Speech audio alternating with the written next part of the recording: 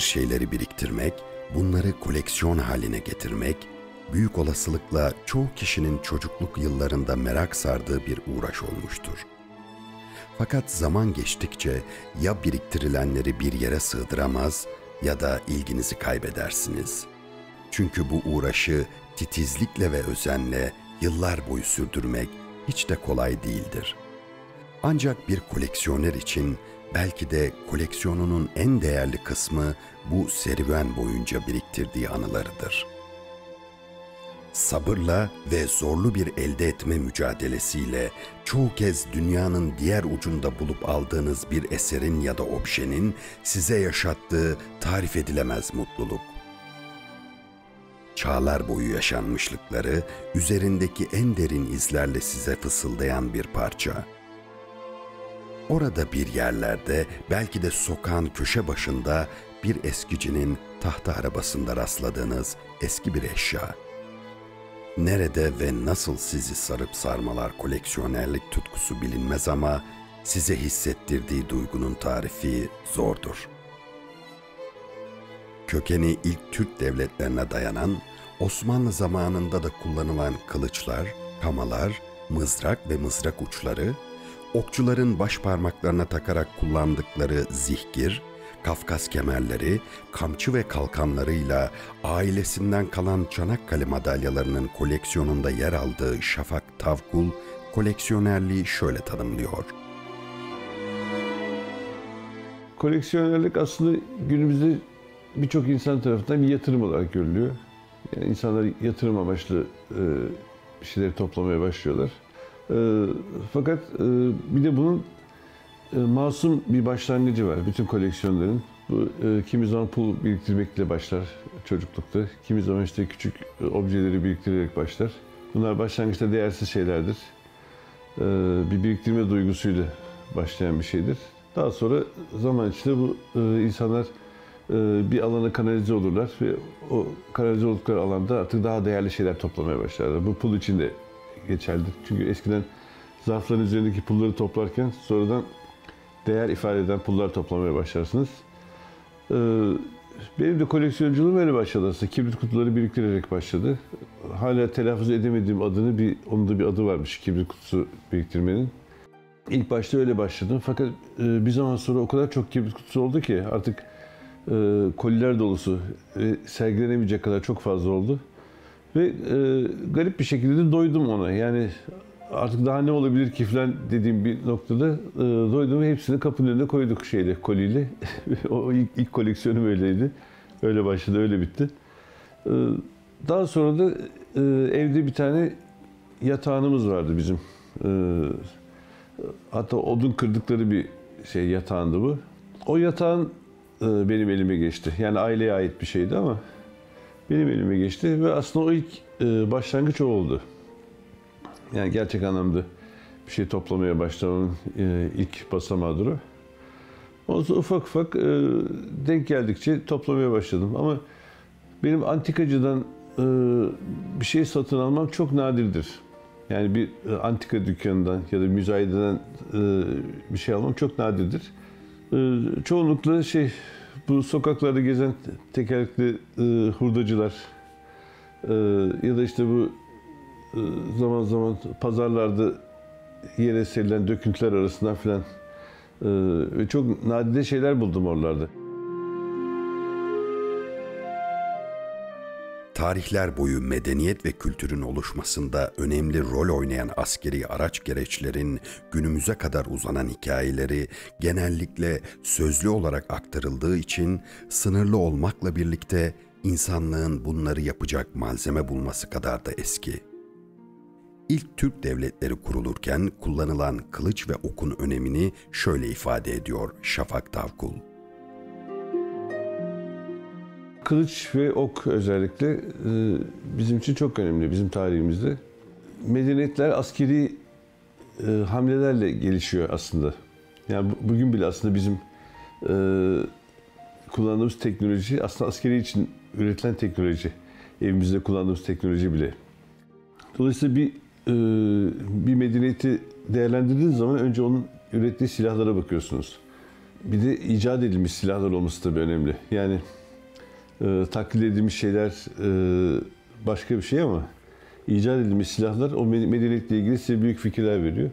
Ve Türkler bu konuda aslında çok becerikliler. Yani bir dönem çok incelediğim bir şeydi özellikle kılıçlar. Avrupa'daki e, kılıç yapısına bakıyorsunuz. Orta çağda e, tek tip bir kılıç üretilmiş. Bu eğer kılıcın sahibi zenginse ya da hani e, üst düzey birisi ise biraz daha süslü.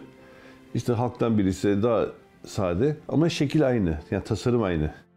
Fakat aynı dönemde bizim Türklerde 40'tan fazla tasarım var. Farklı şeyler dizayn edilmiş kılıçlar. Çünkü e, kullanıldığı yere göre değişiyor. İşte komutanın farklı, işte sipahinin farklı, akıncının farklı, işte delinin farklı, Levent'in farklı falan gibi. E, herkesin kullandığı yere göre e, farklı farklı tasarımlar geliştirmişler. Aslında bu çok ciddi bir endüstri, endüstri tasarım e, hadisesi. Tarihe yön veren kılıç, savaşların ve gücün sembolü olmuştur çağlar boyu. Asker ve komutanlarla özdeşleşen kılıçlar, iki tarafı keskin ve düz olmalarının yanında yatağın, pala ya da yalnız bir tarafı keskin olan eğri formda da bulunabilir. Şafak Tavkul içinse ayrı bir yeri olan Türkmani kılıcın ilginç bir hikayesi var.'' Favori kılıcım aslında Türkmani kılıç dedikleri bir kılıç var. Ee, çok uzun yıllar kullanılmış. Benim favori kılıcım o. En sevdiğim kılıç o. Onda ilginç bir hikayesi var. Bir tesadüfen e, Kadıköy'de taş satan bir amcamız vardı. E, tesadüfen onun vitrinde gördüm. Ve o neredeyse bana hediye eder gibi bir fiyata onu verdi o kılıcı. O çok değerli bir kılıç benim için. Hem form olarak hem e, işçilik olarak, yapı olarak e, ki ben o kılıcı ilk aldığım zaman e, böyle kuru bilek dal, kalınlığında kuru dalları tek vuruşta koparabiliyordum yani o kadar güçlü bir kılıçtı. Tabii o, o kadar kıymetli bir şey olduğunu farkında değildim o zamanlar. Şimdi mümkün değil yani bir yere vuramam kılıcı da. Ama en azından onu da denemiş oldum. Şafak Tavkul'un koleksiyonunda yer alan ok uçları tarihin en eski dönemlerine ait. Bunun yanı sıra form, işlevsellik ve işlemelerle en üst noktaya ulaştığı Osmanlı zamanına ait olanların adeta bir sanat eseri gibi yapılmış olmasının da bir sebebi vardı. Ecdadın yaptığı oklarda muazzam bir sanat var. Hem dediğim gibi aerodinamik olarak çok e, ince işçilikli. Hem de üzerinde e, yapılan o tesipler, süslemeler. Onlara baktığı zaman insan e, aklı almıyor. Ya böyle bir şey hani savaşta atıyorsun ve bir daha geri gelmeyecek bir şey. Niye bu kadar uğraşır bir insan buna? Bazen bazı oklar var bakıyorum hani ben ressam olarak bakıyorum. Ya bir hafta uğraşmam lazım diyorum şu oka sadece. Yani üstündeki süslemesine, işlemesine. Orada aslında o zaman anlıyorsunuz aslında sizin ecdadınızın ruh halini, e, duygu halini anlıyorsunuz. Yani o okun anlamı şu. Bir okun bedeli bir can. Yani bir insan canı alacak o ok. O yüzden alelade bir dal yollamıyor adam. Muazzam bir sanat eseri yolluyor ki e, onun karşılığı olsun. E, tabi bu incelikleri gördükçe o zaman daha çok insan bağlanıyor bu şeylere. Şöyle bir şey var. Şimdi e, oku atarken ya hak deyip çekiyor e, insan yayı. Çünkü şuna iman etmişiz. Ee, Enfal suresindeki bir ayet. Ee, hani sen attın ama onu hedefine ulaştıran Allah'tır. Ee, bu mealde bir ayete inan, inandığımız için biz oku çekiyoruz, atıyoruz. Ya hak diyerek atıyoruz. O gidip e, Allah'ın e, takdir ettiği kişiye gidip sapla diyor. Yani sonuçta öyle bir şey inançla atıldığı için o yüzden de bir sanat eseri yapmış adamlar okları. Orta Asya'dan Osmanlı'ya uzanan tarih, coğrafya ve medeniyetin ayrılmaz bir parçası olan okçuluğa özgü bir başka unsur da okçuların baş parmaklarına taktıkları zihgir adı verilen yüzüğe benzer metal halkadır. Kişiye özel tasarlanan zihgirin hikayesi ise bugünkü Kırgızistan sınırları içinde Abbasiler ve müttefiki olan Karluklarla Çinliler arasında yapılan Talas Savaşı'na kadar uzanır.'' Evet, bu arada tabii ben zihir koleksiyonu da yapıyorum. Bu zihir bu benim parmağımda da görüyorsunuz. Ee, buna Türk halkası da diyorlar. Ee, bizim için çok önemli bir icat bu. Yani Türk dünyasını icat ettiği, dünyaya kazandırdığı bir şey. Ee, Türkler ok atarken baş parmakları kullanarak atıyorlar. Ee, bu şu anda dünyada bir tek Korelilerde, Türklerde, Moğollarda bir de e, bazı Japon kültürlerinde e, bu yöntem kullanılıyor. Onun dışında Avrupalılar hep üç parmakla çekerler yayı. Bizde e, baş parmakla çekildiği için bu baş parmağı koruyacak, çünkü yaylar çok sert, baş parmağı koruyacak bir şeye ihtiyaç duymuşlar. Bunun için bu zehkiri icat etmişler. Bu normalde şu şekilde takılıyor parmağa ok atarken. Yani şu sivri kısmı içeri gelecek şekilde. Şöyle kirişin geçtiği yerden tutuyoruz ve çekiyoruz oku. Şimdi bu sağladığı çok fazla avantaj var. Yani hem parmağı koruyor hem yaylar çok sert, çok güçlü yayları çekebiliyorsunuz rahatlıkla. Ve çok seri ok atılabiliyor bunun sayesinde. Ee, biz bazen e, konuşuyoruz da diyoruz bugün e, İslamiyet'in geniş coğrafyalara yayılmasının sebeplerinden bir tanesi bu zikirdir. Ee, bunu da şöyle hikaye ediyoruz. Talas Savaşı zamanında biliyorsunuz e, Abbasilerle Çinlilerin arasındaki büyük savaşta e, Türkler Araplara yardım ediyorlar. E, ve savaş bu sayede kazanılıyor. Çünkü Türk okçuları, Türk savaşçıları çok başarılı oldukları için o dönemde Çinlileri yenebiliyor Araplar ve savaş kazanılıyor. Bu savaştan sonra da tabii çok sayıda Çinli esir alınıyor. Ve Araplar Çinli esirlerden kağıt yapımını öğreniyorlar. O zaman çünkü Çinliler kağıt yapmayı biliyorlar kağıt yapımını öğrendikleri için e, eskiden deri parşömenlere yazılan Kur'an-ı Kerim bundan sonra kağıda yazılmaya başlanıyor. Ve çok daha seri yazılabiliyor ve çok daha seri üretiliyor. E, ve çok daha fazla insana ulaşıyor. Ve e, bir anlamda da e, İslam'ın yayılmasına hizmet eden enteresan bir yüzüktür bu aslında. Yani yüzük diye bakıyoruz ama aslında bu e, böyle enteresan bir aygıt. Yani E, ok atmayı kolaylaştıran. Şimdi biz okçular bunu parmağımıza takıyoruz. Tabii bizim için artık bir alameti farik olmuş durumda. Birinin parmağında bunu gördüğünüz zaman e, şimdi gerçi moda da oldu insanlar takıyorlar ama eskiden e, o insanın okçu olduğunu anlardınız parmağında bunu gördüğünüz zaman. Aslında bir anlamda bir yüzük kardeşliği bir şeydir, işaretidir. Şafak Tavkul'un koleksiyonundaki parçalar arasında hemen dikkatimizi çeken bir Memlük miğferi oluyor. Tarih kitaplarından belki de dönem resimlerinden herhangi bir miğfer olarak hatırlıyoruz diye düşünürken Şafak Tavkul miğferin ilginç hikayesini anlatınca anlıyoruz miğferin nereden tanıdık geldiğini. Evet bu bir Memlük miğferi ee, ama öyle bir miğfer ki bu e, çok uzun yıllar kullanılmış. Yani Malazgirt'te de var bu miğfer. Ama daha sonra 3. Selim'in e, Buzağı Savaşı'nda da var bu miğfer. Yani aralarında 600-700 yıl olmasına rağmen e, çok aktif kullanılmış. E, kullanışlı bir miğfer. Bütün Türk coğrafyalarında bulunuyor. Ama e, siz sorduğunuz zaman size diyecekler ki ya İran miğferi ya Safevi miğferi. Çünkü herkes biraz aslında bu işlerde e, köllerin fili tarifi gibi anlatırlar. Herkes bildiği, gördüğü kaynaktaki bilgiyi size aktaracak. Ama aslında gittiğiniz zaman e, dünyanın her yerinde, Türklerin olduğu her yerde bu miğferi göreceksiniz. Bu e, o açıdan çok yaygın bir tasarım. Ben bunu e, yıllar önce gene bir eskicide buldum, aldım. Fakat bu miğferin bir enteresan tarafı var. Bu antika değil. E, replika bir miğfer ama e, orijinaline çok yakın yapılmış. Yani bütün fonksiyonları işlevsel. Bu gördüğünüz gibi bu burun koruma kısmı. E, bunlar hepsi çalışır durumda. Aslında çok uygun yapılmış ve aslında uygun bir malzemeden yapılmış. Yani yine demir bir miğfer. Bu tabii miğferin belki tarihi bir değeri yok replika olduğu için ama şöyle bir değeri var. Bu bir sinema yıldızı bu miğfer. Birçok filmde rol almış bir miğfer. Ee, belki izleyiciler şeyden hatırlayabilirler. Ee, Karagöz Hacivat filmi vardı. Ezel Akay'ın. E, o filmde de rol almış bir miğfer. O yüzden ben e, çok severek saklıyorum bunu.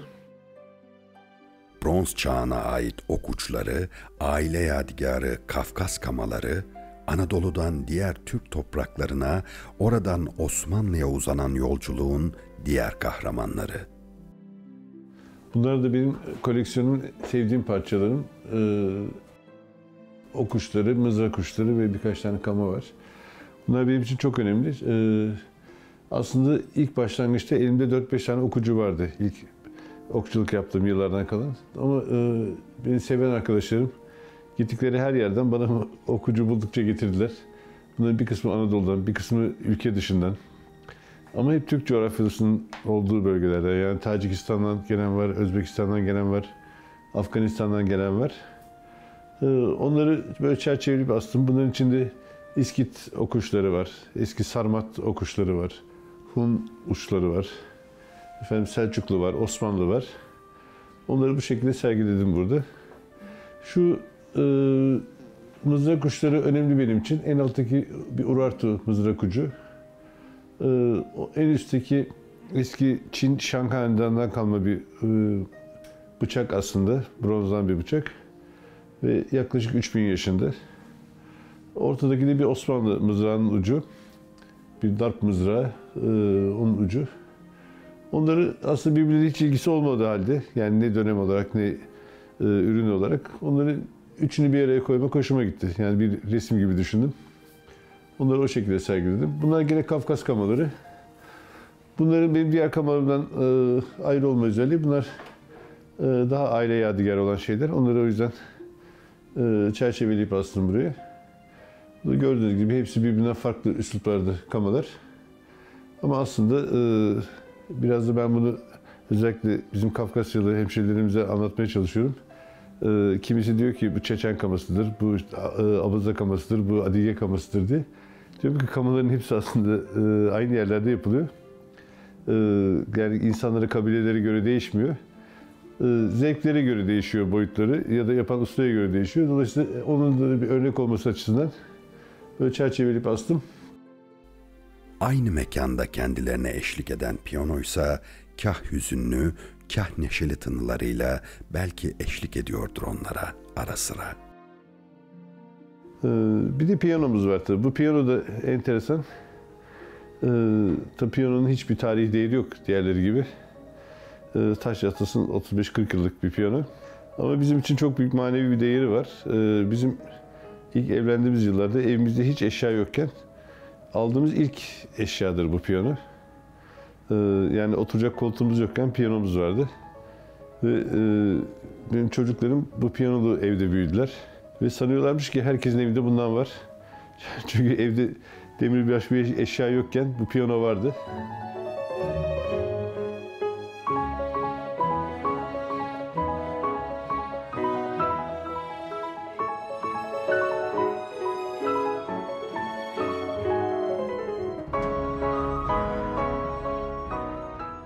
Tarihi insanlığın metalle tanışması kadar eski olan kılıcın Osmanlı'da gerek işçiliği, gerek kullanımı ve tasarımıyla bir sanat eserine dönüştüğünü söylemek yanlış olmaz.